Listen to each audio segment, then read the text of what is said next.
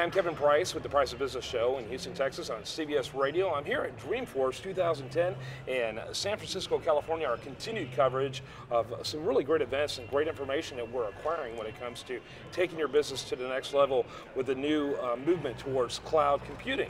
And I just uh, attended a, a, really an interesting panel discussion on how you apply the concepts behind cloud to the real world of business. And it was uh, head up by uh, Walter Rogers of Baker Communications, the president of Baker Communications, and we're going to start with him.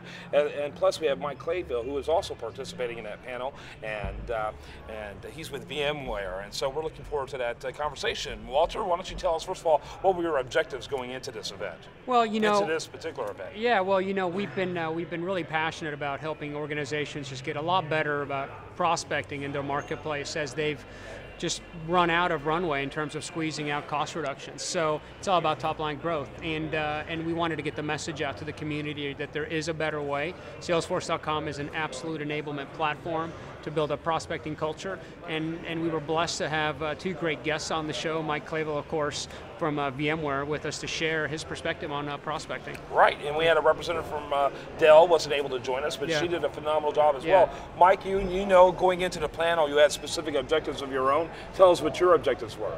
Well, you know, I think it's uh, important for uh, us to support Walter and his mission. He's done a great job for us, enabled us to really transform our organization and drive a prospecting culture deep into our organization. I was really here to support Walter and enable him to get that message across. What are the overriding objectives for VMware in general, and, and you know, in terms of how it matters to the typical person in business today? Yeah, well, so it, I think everybody in business today is wrestling with this notion of how do I get more out of less, right? And that's what prospecting allows you to do, is really focus your time in places that can be very productive.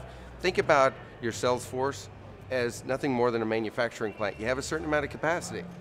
You use that capacity better, you'll get a lot more results, and that's what Walter helps me do. Right. So really getting the biggest bang for your buck when it comes to prospecting. That's be, exactly right. cliche there.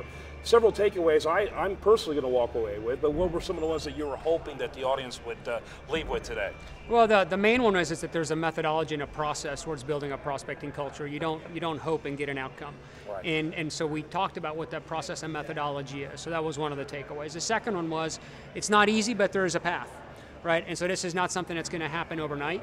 Uh, you do need to embark on a journey and a mission, and you need to have some real fortitude uh, towards getting there. Because sales reps, historically, prospecting is not the, you know, they don't wake up in the morning thinking, wow, I'm excited about prospecting today. Do they, Mike? Now, I know you want them to, yeah, and I know we're going to get them there, yeah. right? As part of that, yeah. fact that's their primary job, they still Yeah, exactly. Well, exactly. Well, they'd just rather that you hand them a, an order that's ready to close. And prospecting is the act of actually understanding where that order is and then building up the capacity to fulfill well, that it's order. about so, yeah. Uh, taking a lot of no's yeah. and getting through that, right? Nobody wants to hear no. And what you have to do. but be. there's a reward eventually. If you keep asking, exactly. you'll eventually get what you're looking you for. You push your way through it. Great conversation. Again, one of the many that we've heard here today, one of the many panels that have taken place. It's incredibly informative what we're learning about when it comes to Dreamforce.